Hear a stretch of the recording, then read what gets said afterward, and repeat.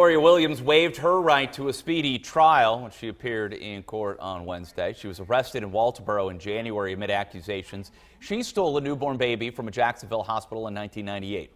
19-year-old Kamiyah Mobley, who was raised under the name Alexis Manigo, was in court for that hearing on Wednesday. Williams is expected back in court on May 30th.